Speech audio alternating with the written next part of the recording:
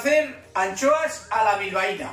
Los ingredientes que vamos a usar son aceite, vinagre, un poquitito de vino blanco, guintillas, ajos, perejil, pimentón y el, ingrediente principal, las anchoas.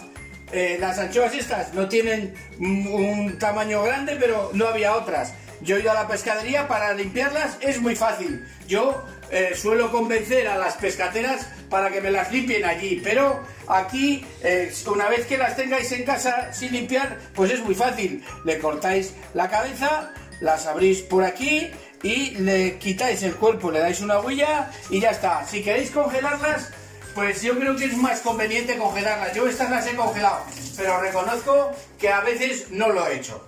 Vale, pues ahora eh, vamos a empezar con la receta.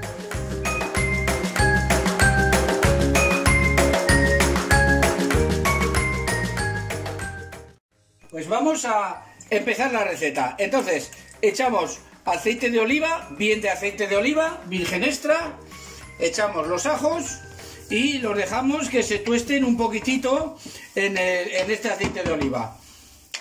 Seguido picamos, como ya veis aquí que hemos picado la guindilla, yo la he dejado, como veis, en trocitos grandes hay gente que prefiere cortarla muy pequeñita. En este caso yo prefiero hacerlo en trocitos grandes para que, como pica mucho, eh, dependiendo del tamaño que cojas, pues te va a picar más o menos. Y luego me he puesto este artilugio que veis aquí, que para cortar el perejil. Eh, ya veis que viene muy bien porque la intención es que no te cortes los dedos. Yo les veo a los cocineros que lo hacen a menudo pero hay muchas veces que se te va un poco el cuchillo y puede cortarlo. Con este artilugio tú lo vas poniendo y no te cortas en ningún momento. Vale, con esto también ya tenemos picadito el perejil, esperando a que se haga la receta. Vamos a esperar un segundito, ya se nos empieza a tostar el ajo, lo dejamos un poquitín, esto ya os vais a fijar ahora que es muy rápido. Voy a preparar la sal para que no se me olvide. Esto va a ir rápido.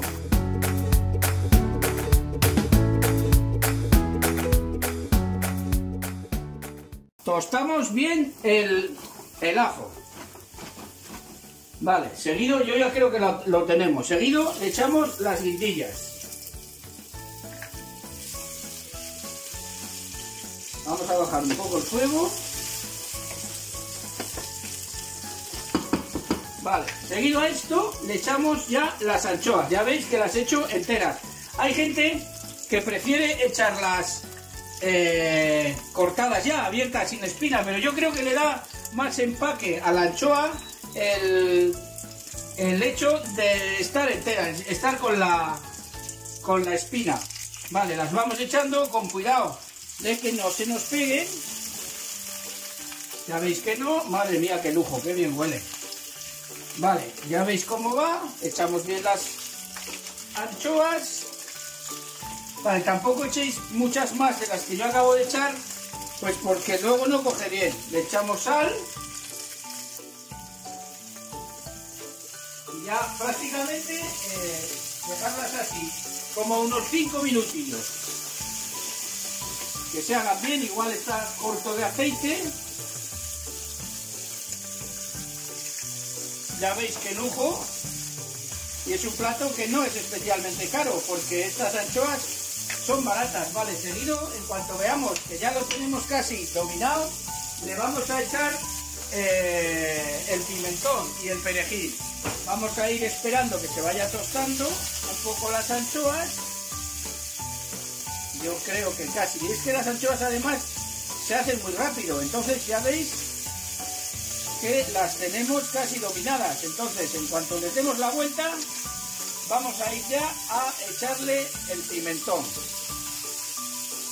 Ya veis qué lujo de plato. Y las anchoas, que en esta época en la que estamos ahora, en mayo, junio, las anchoas están muy baratitas. Vale, pues yo creo que ya están.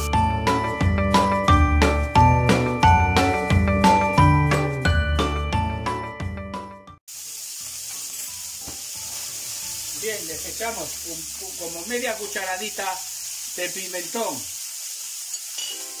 por encima le echamos el perejil.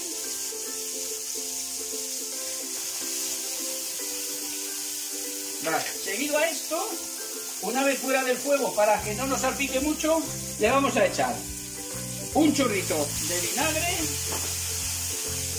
y un chorrito de vino blanco. Hay mucha gente también que le echa fumet. Yo no soy muy partidario de hacerlo. A mí me gusta más directamente así, con un poquitito, ya lo habéis visto, de vinagre y otro poquitito de vino blanco, en mismas proporciones. Lo dejamos ahora un poquito para que se evapore el vino blanco y con eso ya tenemos las anchoas listas. Ya veis qué pintas, qué pinta más buena tiene. Vale, con eso en un plato para poder adornarlas, las vamos a ir sacando.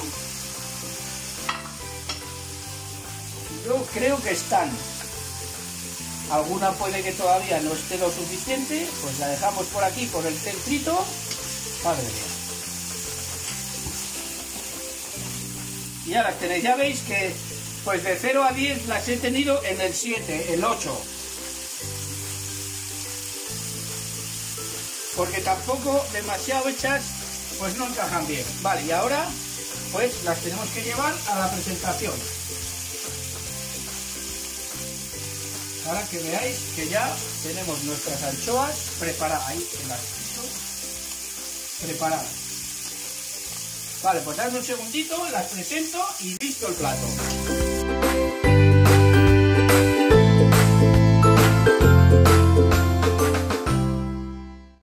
Pues, como veis, ya las tenemos.